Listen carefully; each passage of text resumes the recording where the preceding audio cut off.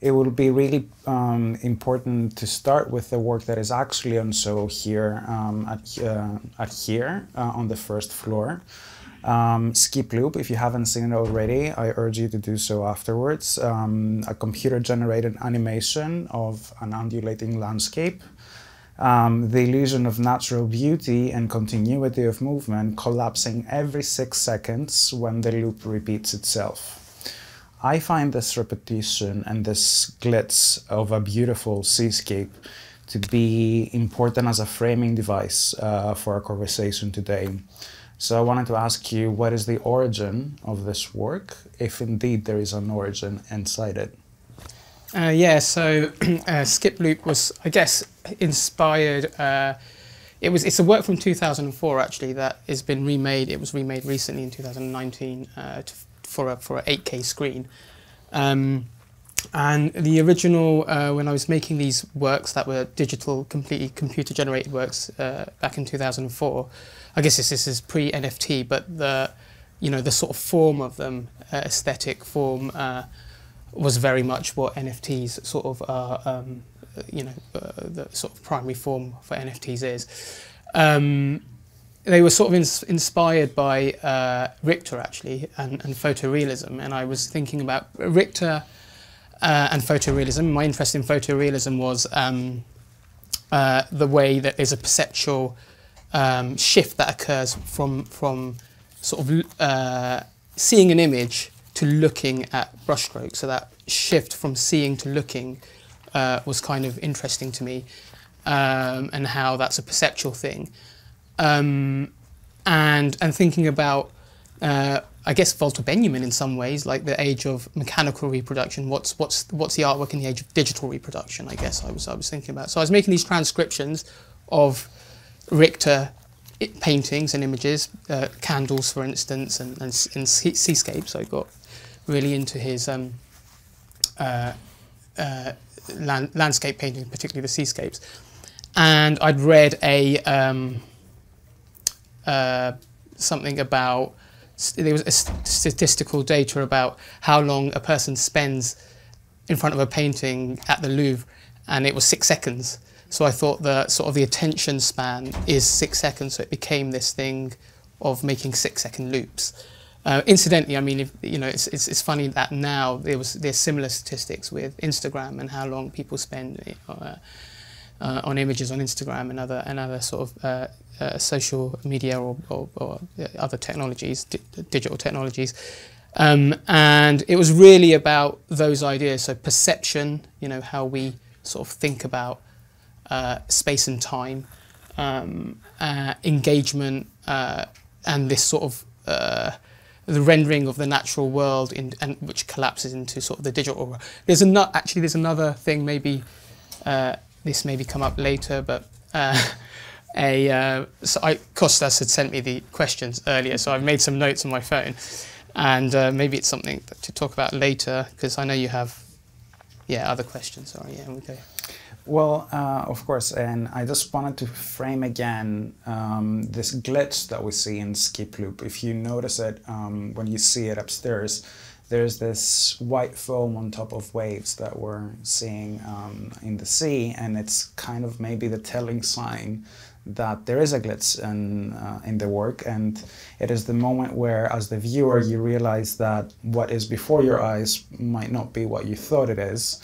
Um, and it can be read, of course, highlighting the attention span that you just described.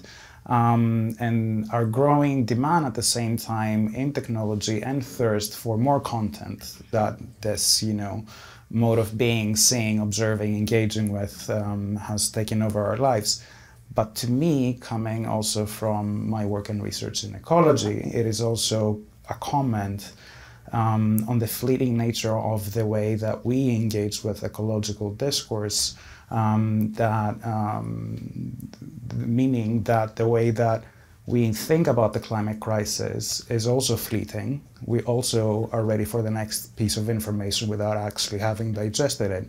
And the message hasn't quite sunk in yet that the world that we are living in is already collapsing, maybe beyond repair. So in this way, I wanted to open up a conversation even further about how notions of ecology and technology are connected. Um, and how ecology has always been latent in your work, but perhaps you're engaging with it in new ways. And I just wanted, yeah, to tell you, to ask you about how technology and ecology intersect in your work.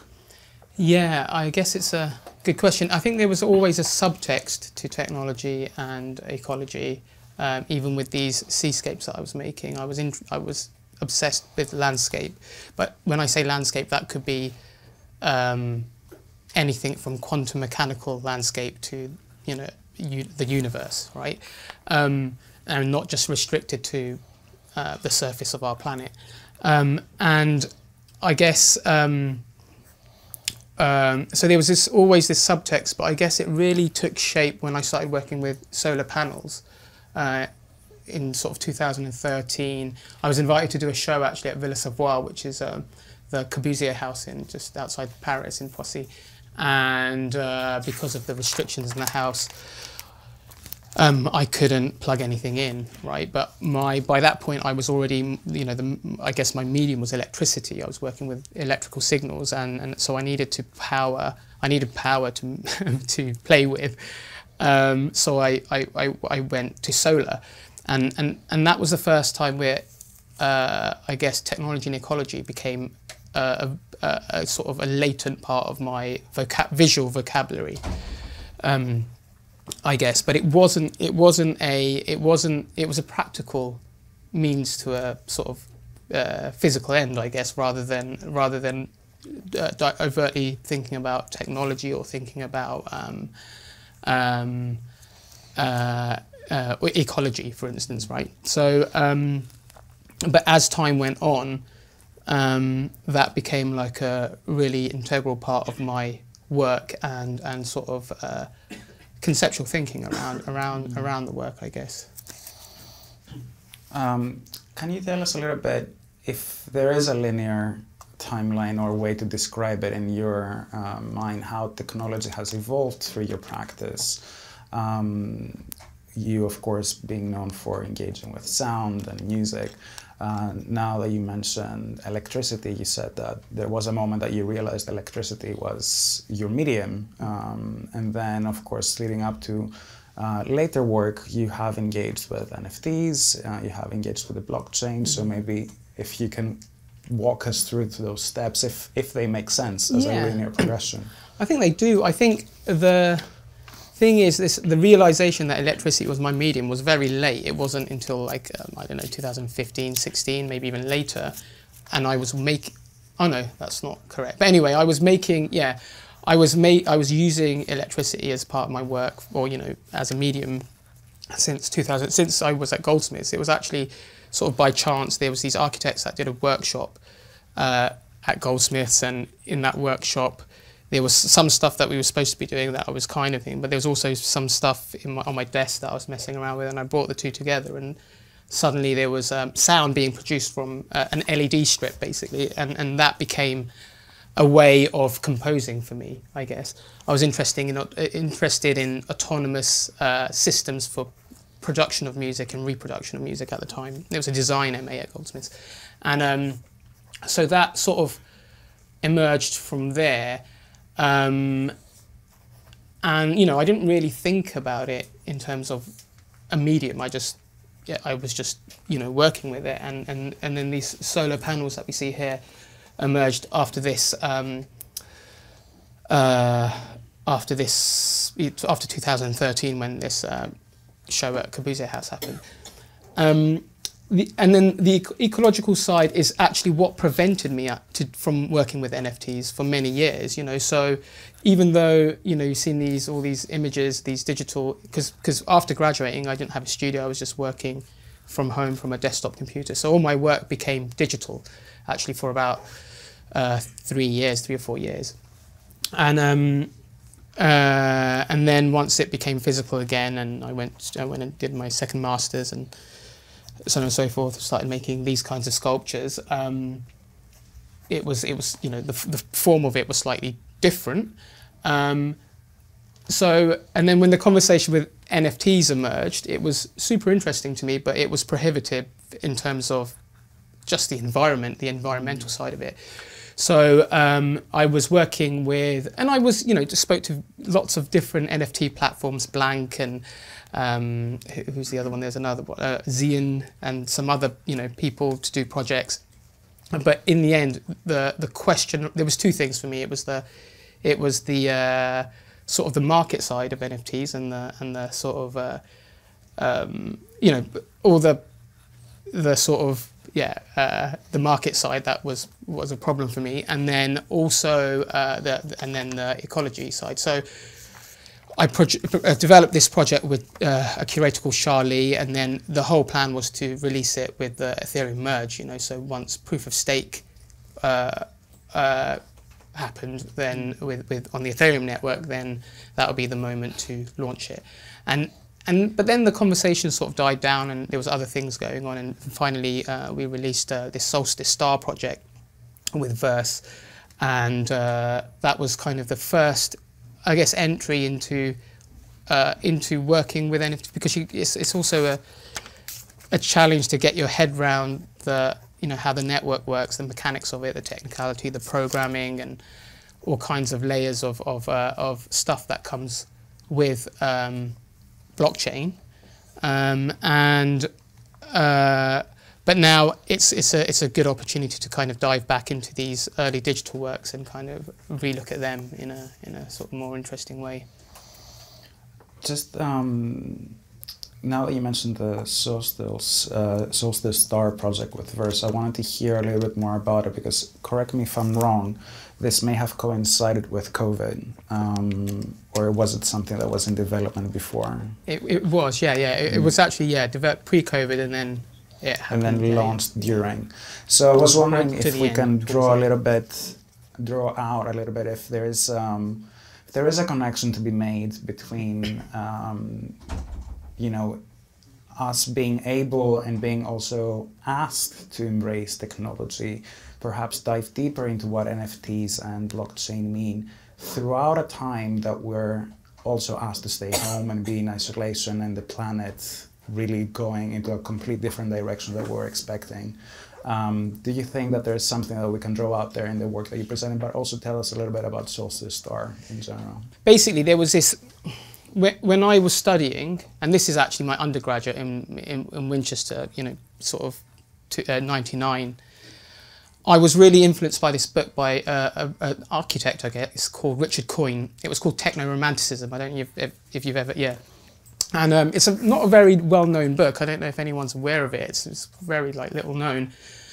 Um, but it was about, uh, essentially it was about human transcendence from the physical realm to the digital realm and how that will look and what's the psychological, social, cultural and economic um, you know, cite what what, what that means in, in terms of those things. And um, uh, so I was, but it, but for me, it was also there was also a lot of critique in this. You know, like what is this? What does this mean that we transcend the material realm into the digital realm holistically, uh, which he talks about. You know, he brings all kinds of things into the argument from Oedipus narratives to kind of I, I don't know like um, Freudian and like just a lot of psychoanalysis and lots of lots of um, Heidegger. He talks about technology. one of the uh, interesting things actually with technology is this idea that I really love that technology isn't a it's not a man-made thing that just exists because we will it to. It's it's it's a it's it's a species that co-evolves with humans, you know, which is uh, which comes from Heidegger, but it's a kind of a fascinating idea and it gets really interesting when you think about it in terms of the context of AI for instance and and, and what intelligence is what conscious question of consciousness and so on um, and uh, so that was that that was actually really influential for me and always thinking about this sort of you know what it means to be at home you know and and be plugged in is it is it us that's doing that is it a symbiotic thing with mm. technology or is it technology that demands us to do that, right? And this is this goes beyond sort of the ideas of um, a super intelligence or anything like that. It's it's more like a um, yeah, it's more to do with nature, if, if anything. And you know, we mustn't forget that all of our technologies run on electricity, which is uh, a natural phenomenon. You know, the sort of the the and, and so do we. You know, we have uh, uh, electrical pulses that uh, activate all parts of our uh, uh, senses, along with biochemistry, um, and um, and so yeah, so all these sort of ideas and thinking about ecology, technology and nature and ecology sort of sort of collapsed in that um, in that work Solstice Star. Mm. You know, it was it was originally it was originally um, my gallery had asked me to uh, make a digital work just to just to send to people during during the festive season, um, and and and I made this object that somehow uh, yeah talks about all these things because for me the festive season is all about the solstice as opposed mm. to uh, Christmas or Thanksgiving or these sort of other uh, things because they, they, it, all, it, all, comes around to this this moment when there's a switch in terms of uh, mm. um, in terms of the seasons essentially. Yeah, to me, um, I'm Greek, and us Greeks, we love etymology and breaking things down. So I just wanted to do a quick thing because I was inspired by what you said. Uh, when we think about um, the word ecology, it comes from ecos, uh, which means home or house, um, and logic comes from logic or logos, which means to speak or to reason. Same with technology, the second part is the same, and uh, techno comes from the word techni, which means art or craft. So those two things are completely interconnected because ecology is the way that we think about our home or where we make home or the different homes around the world that are part of the same system and how we reason and speak about them. And technology is what kind of craft and what kind of tools are in our hands to speak about these things. And those things are ever evolving and ever changing. So that was also why I think subconsciously I was trying to make a connection between those two in a time of distancing and in a time where everyone was uh, even more engaged with technology uh, mm-hmm. in their home. Um, but I wanted to go back to skip loop, um, which is quite interestingly for your practice, uh, silent work. Um, when throughout you uh, your work have you have ex explored sound at great lengths. So for me, the silence is uh, also a pause for reflection. It is a chance to maybe step inwards, um, an opportunity for realignment, if you may, and maybe a six-second ritual. Mm. So I wanted to ask you, what is the importance of sound, of silence, of ritual in your life and in your practice? Mm. Um, yeah, sound, silence, and ritual. Sound and silence. For me, silence and sound. There's never any silence. You know, even in the vacuum of space, you you know you would, I presumably, have auditory hallucinations as soon as you know within like five or ten minutes. I uh, there was a there's a work that I made which is an anechoic chamber with pitch black, in in, in darkness that um, yeah for me certainly and um, and obviously and lots of other people you know uh, auditory and visual hallucinations happen almost immediately. So, um, si silence, yeah, there's always there's always sound, and you know, there's uh, I guess um, um, John Cage's you know four three three is is is famous for this idea of silence, but there is the whole situation that's there, and then I guess Max Neuhaus, I don't know if it was before or after, but presumably after uh, did this piece called Listen, where uh, people were uh, stamped the word listen on their hand and just taken out of the chamber and onto a bus and went around New York. Um, so there's no, there's never any silence, and I think um, for this, yeah, for that six seconds, and it's a choice. You know, there's a choice. You can you can be there for six seconds, but the the glitch or the skip, you know, in in that in that work. Um, demands you to stay somehow because it's kind of uncanny what's happening because the, the ocean continues to move as the ocean mm. would move. I mean, there's a, there's a loop, so it's a, it's a trick, but it's a seamless ocean movement. Uh, and the only no, the only reason you know there's a there's a loop is because there's uh, some bubbles that sort of jump right, and um, uh, so that itself is that it's, it's this uh, where reality somehow collapses. That thing about perception again, and, and what you're looking at is it is it a film? Is it a rendering? Is it you know? um, what's the length of this thing? Why is it doing? You know, it's all these questions are, are, are kind of um, demanding while you're in a you while you're in a space. I have.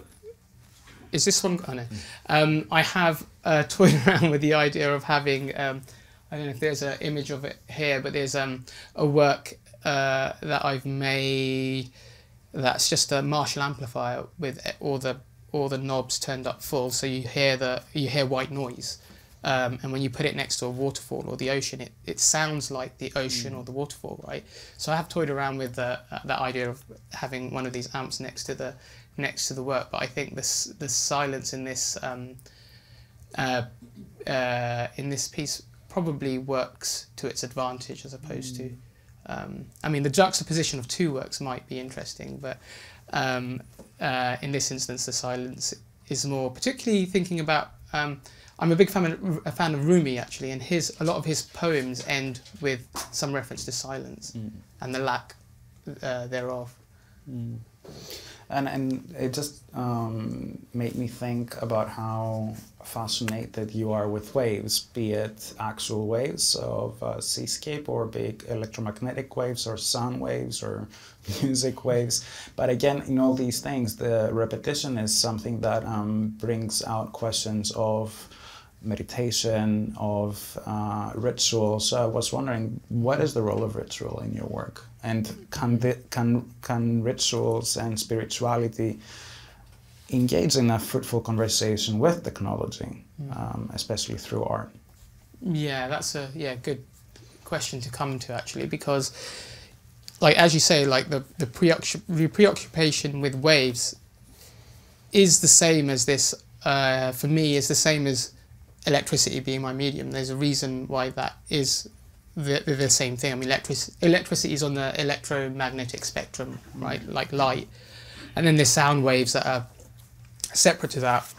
Um, so, you know, that's from my actual, that last image was from my BA show uh, in 2001, and it was uh, like sound sculptures, and you saw waves already in there, right? Um, so, yeah, so all these you know, waves represent the whole of reality for me in some ways. If you think about uh, quantum mechanics, for instance, you know, the whole of reality can be sort of understood as a wave function uh, in terms of, you know, which I won't go into because I'm not a physicist and it's probably uh, a bit boring uh, for the for this purpose. But um, so, and there's something deeply spiritual about that. You know, the the idea of cyclical things and things that up and down, whether it's whether it's ecology, you know, or just, just the environment, you know, uh, or um, the way uh, celestial objects move around us, the way the seasons work. Everything is everything is mm. like kind of a wave. Whether um, uh, when we when we think about it, um, and then moreover, there's there's uh, there's how our brain functions, neural oscillations, and and how um, those and how we all have varying frequencies, you know, uh, just just to sort of um, exist or engage with what we call reality. Um, uh, so, yeah, I guess I guess this is a preoccupation, but this is the core of like uh, working because it's something that you know, it's a constant question, posing constant questions, mm. and the deeper I go, the more questions sort of evolve, um, uh, or, or, or, need to be addressed. Mm. So it's like the it's like it's like a you know sort of driving force for, mm. for my practice. I wanted to also turn our attention to uh, your 2022 exhibition at the Lisson Gallery for Dyson Sphere, which I think is a key moment in your practice where the ecosystem of works you presented there dealt with all of these interrelationships of art, technology, ecology, science, but also um, historical and cultural tropes of um, energy and power. Can you tell us a little bit more about this show, which I believe we have seen a few images of, and how you uh, you researched um, for it? Yeah, so um, the Dyson Sphere. I, I, don't know how that came about. I guess it's well, it starts with uh, Freeman Dyson, uh, actually, it starts with uh, what's his name, who's the novelist. He he, he uh, this no- English novelist that uh, brought this idea of this megastructure uh, that an alien civilization has built, right?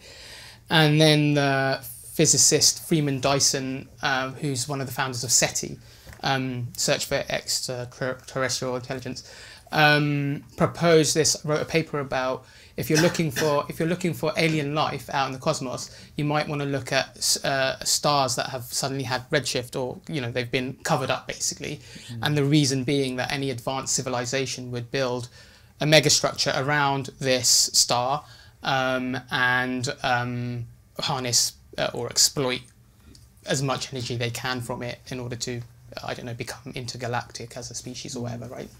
So um, so that um, so that inspired me to like think about this as a as a as a proposition as technologists did. You know, lots of people took on this idea and thought that maybe that's a good idea for us, but us to you know work towards you know maybe when we've fucked up this planet, we can go and mine Mercury and and and get all the you know take apart Mercury and build this mega structure around the sun so we can go and hang out on I don't know Uranus or something, and uh, uh, so this whole idea of um, you know this this this thing is it's actually exploitative, you know, mm. and the question arose um, about um, whether we uh, are a, whether we are a, uh, whether our, us as a species are symbiotic with nature and the rest of and the rest of the universe, or whether we're just like a parasite uh, and, and exploitative and sort of trying to figure this out through making this work. And you know coming you know clearly with with the technology we have there's you can't you can't generate enough power from mediating energy from the sun. All this all the all the energy you know 99.99 whatever percent of energy on this planet the source is the sun right? Um, and actually unmediated energy is the most efficient form of energy. So as soon as you start mediating is when things become uh, inefficient um, or inefficient. Um, and um, so uh, yeah, it's kind of really thinking about that and and and yeah, sort of thinking about it in a sort of more critical and and uh, open-ended way, I guess. I think that it's really important again to draw an analogy between what we all think about when we think about the future. If like we project ourselves into the future for 50 years, in terms of ecology, like you know, images of apocalypse come in our minds. In terms of technology, perhaps the same. You know, perhaps technology has taken over the human species in a way that is not controlled. So I just wanted to ask you um, through your work and for example with the Dyson Sphere exhibition and series of works where you know uh, you engage with this idea of harnessing energy uh, from the stars which is again in this context we always think that this is a strategy reserved for the few you know? Like when we think about the future it's always um, also fantasies of escape from the planet um, rendering us an extractivist species in that sense. So I'm just wondering if you can say about the role of artists and art mm. um, in this conversation and how um, it can act as a catalyst to go deeper um, mm. in these questions. Yeah, I think uh, for me through through art making that process, you inevitably go deeper in asking these questions and and coming to sort of solutions because it's a bit like art making is a bit like experimentation, you know, what scientists do, but without a goal. It's like a not a goal oriented form of experimentation. And um, well, for me, uh, I think for me it's more successful when it's not goal oriented. Or there might be a goal, but that changes through the process of making, which makes it non. Uh, and um, and I guess there's just so much to learn in terms of uh, in terms of uh, that process. But I don't think artists alone can uh, make concrete um, uh, developments. I think you know so collaboration is really important in that sense, and and and and widening the scope of what art is and who engages with art and how artists work with other people like scientists or mm. even architects and musicians and so on. You know. Um, uh, within the within the creative realms, and then ex extend out to uh, you know perhaps neuroscientists and uh, ecologists and so many other uh, people that um, have access to certain types of knowledge. Because I think for me, it's this an is- epistemological thing thing about knowledge that it's it's very human driven. So for me, knowledge uh, is uh, expands with population somehow. So the more people there are, the more knowledge we have, and the more we can see out to the universe, the more we can see into the small. And um, and as population comes down, and this question of, you know, what's going to be, you know, if we if we fuck up our planet and it make we make it inhabitable for ourselves, there will still be the planet, and there might be other species, and whether or not that's a technological species or not, you know, it doesn't matter. There, there, there will be something, you know. Um, and that sort of carries on. And so, what's the role that we play in that is, is, is still sort of uh, important. You know, nothing, nothing happens quickly. It's not like the Armageddon is like a two week process. Um, uh, you know, we might be in the middle of it, you know. Um, so, it's, it's, it's, a, it's a very. Um, vital thing to kind of continue to um, develop a vocabulary around uh, what uh, what where we who we are and where we're going, mm. and then to sort of ha- somehow make that a collective thing as opposed to an individual thing. No, absolutely, and I think that um, artists have a crucial role to play in these making these connections and facilitating these conversations if only they are allowed and we allow mm. them and I wanted to turn, uh, as we're coming slowly to a, conclusion opening up to the floor, um, to your work Stone Circle um, at Ballroom, Texas, which refers to prehistoric monuments such as Stonehenge and Nine Ladies, with, uh, with standing stones um, erected by uh, standing stones erected by humans and used for mysterious practices of communion with the earth. So in this work, I'm fascinated by the connections that you drew between Earth, between rituals, between monuments and space, its activation every full moon, um, but also how it impacted the local community uh, through the use of solar power uh, that is inside it. Can you tell us a little bit more about this work?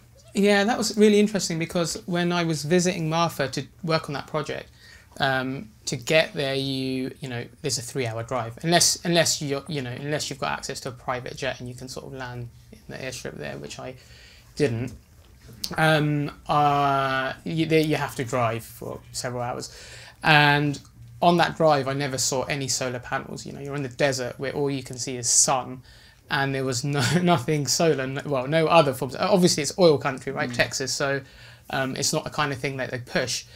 And um, when we did the project, and we got uh, luckily sponsored by a solar company out of Austin, um, there was such a kind of you know the community there were like, wow, you can you know you can generate electricity just like that. So that company set up shop in Marfa and um, started trading, and you know, um, so that was kind of a really nice thing that came out of that project mm-hmm. without you know without having to you know which, without having to engineer it.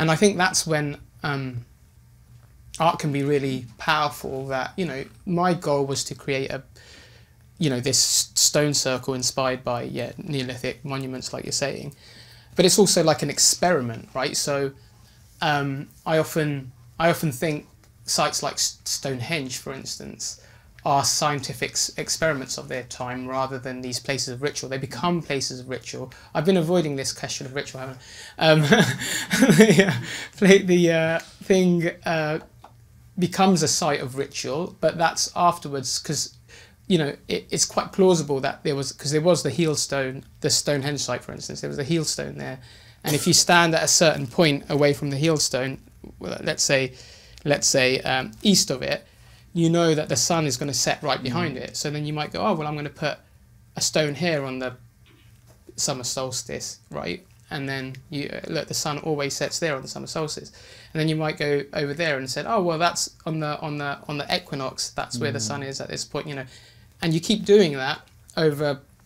I don't know how they got those rocks there, but anyway, you keep doing that, and and uh, you get a stone circle, right? That's what emerges. Um, and then the rituals come in and and that's i think this is the thing with ritual in the end it's it's a very um, individual thing rituals are individual you know you can engage. You can decide that you want to um, join some kind of ritual, but it's it's so sort of shrouded in belief as opposed to truth, Mm. right? And and and you have, and you know, like a the ritual of I don't know, making a cup of tea in the morning or. Uh, or doing yoga or whatever you know whatever these rituals are they're, they're, they're always an individual thing. And and for me it's more interesting that rituals emerge that are meaningful as opposed to um, uh, they're, emer- they're an emergent thing as opposed to a prescribed thing. Um, I think it's important to um, highlight if um, how this project at um, how this project at uh, Texas um, engaged with the local community and how open they were to having discussions with you and what perhaps you learned from actively engaging with the local community through questions of technology, ecology, and power. Yeah, I mean, you know, Mexico is a really strange. I mean, well, Mexico, sorry, that that part of Texas or Texas itself is a very strange place.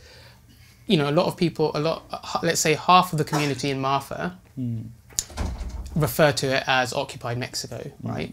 And uh, other people refer to it still as Mexico, and then then there's oh, it's also you know West Texas, right? Um, and that um, that um, is a strange dynamic and in, in itself. And those stones actually came from Monterrey, so they came over the border. And the, in the process of getting them there, they got stuck at the border because people, the, the border control were like, "What is this? Why, you know, how much are you selling this for? How many worktops are you going to make from these stones?" And so on and so forth. Um, and it was interesting. The community that really was present during the unveiling of the stone circle uh, was a very indigenous community actually and there was this one woman that came to me and said um, this keeps chopping um, and told me uh, she literally grabbed me and said she, she asked me do you know what this land was used for and I said no I don't know she said time travel and I was like, I was like, well, you know, and at one point, you know, at, at some part of me was thinking this woman's crazy, but the other part of me was thinking, I want to know more. Where are you, you know, getting? And there wasn't enough time to uh, speak to her about it, and and also that uh, area is also very uh, much where uh, peyote is indigenously from. So, um, and those ritual, you know, uh, I mean, there's lots of different uh, communities that work with peyote now, and it's been co-opted by all kinds of, uh, you know, there's a sort of syncretic religions now that have sort of co- co-opted uh, peyote religion, uh, peyote use for for uh, because of various political uh, reasons. Um, but uh, I think it's a very important part of that place, um, and I, w- I was more interested in learning about those uh, sort of more ancient and, and historic um, types of practices and and uh, and rituals than the than the present day ones. Because the present day ones will happen you know on because the thing is on one side there's it, it's it's it's um the stone circle is predominantly for um, you know people that know about contemporary art. But then there's a whole other side of it that's just the local community that are there and you know other things are sort of building and emerging. And that will take years you know hopefully it will stay there for years and and those things uh, will will emerge. But again it's not something that uh, necessarily needs to be uh, prescribed um, yeah Okay, I'm gonna uh, end with a question that um, it's beneficial for me as a curator, but I think for the audience as well. Um, and it's the question where I ask you, where is your current thinking? Is there something that you are working on right now? Is, are there ideas that are carrying your work um, into the future? Yeah, I think uh,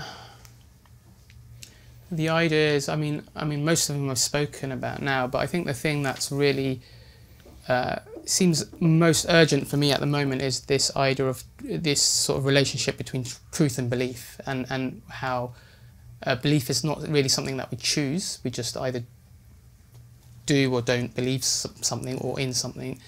uh, and and truth itself is something that's irrelevant and somehow inaccessible um, for um, someone's, someone's calling the camera. Yeah, right. um, yeah, and and and certainly with you know all the horrific things that are happening in the world, you know, trying to figure out how uh, to uh, yeah, kind of bring uh, build bridges and and, and and and trying to understand how um, how you know sitting on fences you know has often been this thing is described as a negative thing to do. But actually if you're on the fence and building gates that's kind of uh, probably a more essential place to be right now than and rather than thinking about art as political criticism thinking about art as diplomacy um, is uh, are probably like urgent things. But you know these ideas where how they uh, end up in um, practice is, is, is kind of a long and slow process. And I, I mean, I'm working on a sort of a quasi opera. I, won't, I don't want to call it an opera because it's more like a Gesamtkunstwerk that crit, that's a critique of opera and its conventions, but um, but it's a very collective effort and, and, and trying to dilute those distinctions between uh, what is perhaps choreography, what is set, what is music, what is um, uh, I don't know like audience. You know, all those things come into question and and and uh, yeah, An ecology of things. an ecology of things exactly. That's nice. Thank you very much, everyone. This Thank was you. great. Thank you all for being here, and thank you, Diverse, for having us. Thank you. Thank you.